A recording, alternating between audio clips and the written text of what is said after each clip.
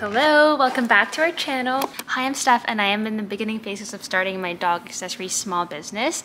And today I wanted to walk you guys through what we've been working on in the past year because I'm hoping that our e-store launches in the next three months, fingers crossed. I've been working on little bits and pieces of the business like the branding, designing the actual patterns for the bags and the leashes and working with the manufacturers. So I wanna give you guys a quick update on that and then Nico, you wanna come here?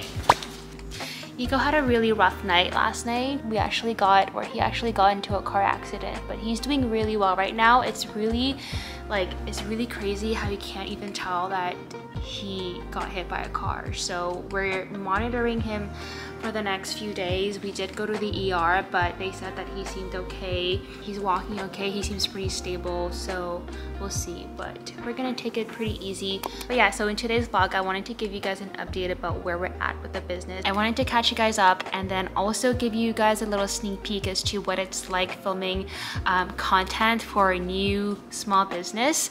And I'm also just starting to create content for social media channels, as you can tell with YouTube, and we also have a TikTok account that just started.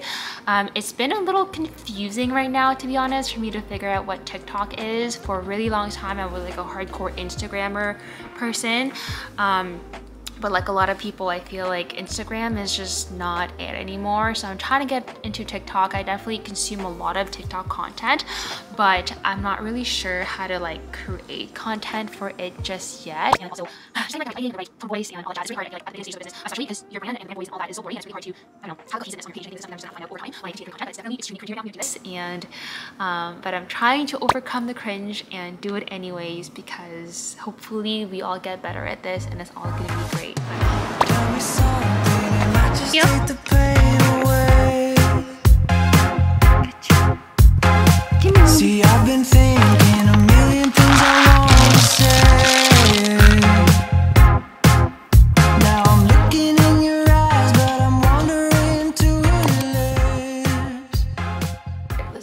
this. I'm sorry that you have to see the toilet here, but we're gonna work with what we have. Ready with me to go on a dog walk while we talk? Get ready. Dog walk while we talk about puppy blues.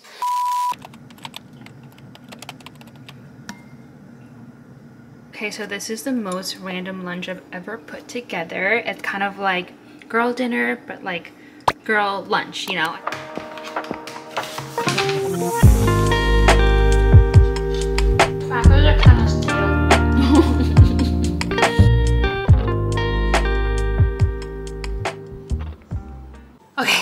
Feel like I had a million things to do today and I have been doing a million things since this morning, but I'm really late on our schedule because it is about one o'clock, almost one o'clock, 12.58, and I was supposed to have already meal prepped for the next couple of days and grocery shopped and kind of organized myself, but I have done none of that. Um, I wanna see if I can actually go grocery shopping really quickly, so I'm gonna make a grocery list right now so that we can head out and grocery shop. But before then, I just wanted to update you guys on, again, where we're at with Woofnox right now. So basically about a year ago, um, we had the idea to launch Woofnox and one of the first things that we did was to hire a brand designer to help us with the logos and the brand visual identity. And I'm having a funny face right now because I feel like I'm not sure if we should have hired this person so early on in the process because I didn't really know where I wanted this to go. So a lot of it has evolved over time and um, I kind of ended up just doing it on my like on my own to be honest. It was a good kind of starting point for her to help me um, get things going but so much has changed since a year ago. So once we're able to come up with our logos, we work with the manufacturers to uh, get some mock-ups of our bags as well as leashes and collars and then started getting some samples ready. So the first sample is always, well, it's really up to you, but we got samples that were blanks. So it was the first time seeing like the quality of the products that they could manufacture and that was an experience on its own. Um, let me tell you that the manufacturing process is my least favorite part of this whole process because I hate I hate all the back and forth. I hate the unknowns. I hate the feeling of like being scared of getting ripped off and you don't really know what's like actually true or not true. I think part of it also is because we are inexperienced in it and I'm really hoping that once we get some more experience that it's gonna be a lot easier.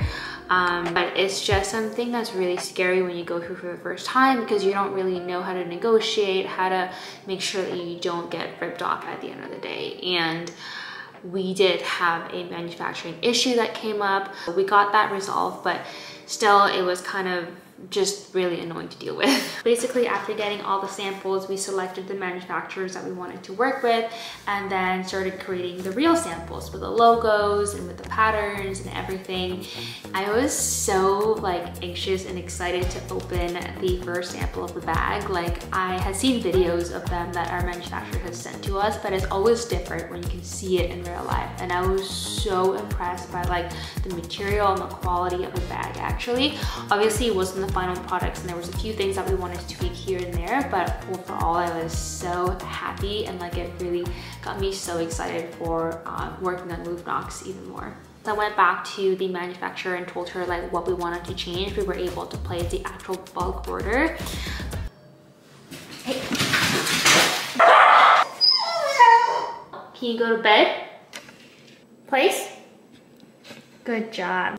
Chill there, okay? But yeah, so once we were able to work with the manufacturer to tell them like the little changes that we wanted to get done, um, we were able to actually place the bulk order. We just made our first Woofnox order. look like you don't know what we're doing. Usually when you uh, show this kind of stuff, you try to teach other people. But... No, we don't know what we're doing. we don't know what we're doing. we're gonna hope for the best. Placing the bulk order was so anticlimactic for us and we were also really scared. I feel like I was expecting to be super excited and like super amped up to like finally place our orders. I think, I think it's gonna be good. Um, fingers crossed, I'll keep you guys updated. Our bags are on the way here right now. The manufacturing is done and they're shipping it to Canada as we speak.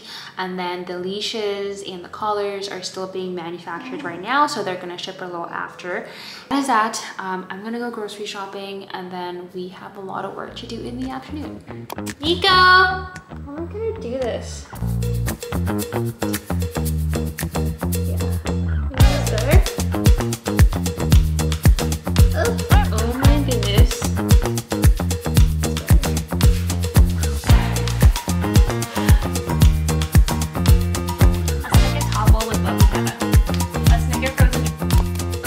Out I didn't have time to go grocery shopping because I just filmed a TikTok and I feel like it's gonna get 10 views and two likes. But you know what, whatever, we're gonna keep creating content and hope that it all comes together in a couple of months or years, I don't know.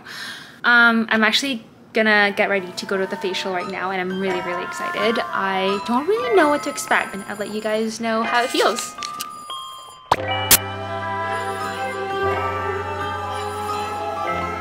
Middle of editing this vlog right now that you're watching and I just realized how dysfunctional and disorganized and messy this vlog is. Um, I meant to film everything in that one day, but we are now a week later and um, I was trying to film all of my TikToks on the same day. It was gonna be like my filming day, but it was so hard for me to create more than like one or two videos a day, to be honest. I know a lot of people suggest doing like batch content creation, but it's really hard for me. I'm more the kind of person who just likes to create in the moment or in the process or whatever feels right for me in the moment. So I think I'm gonna stick to that, like maybe once a day um, should be okay for me. Um, but doing like 50, 20 pieces of content in a day is like mind blowing to me. Maybe in the future when I have things a little bit more figured out, but right now I think just going with the flow, going with like how the energy feels on that day as like cheesy as that sounds, is a better strategy for me. I think if you take anything from this one vlog, I hope that you forgive yourself for being messy in the processes, embrace the journey and give yourself some time to figure out whatever it is that you're working on because hopefully, figure across we all figure this out together and um, I will see you in the next one.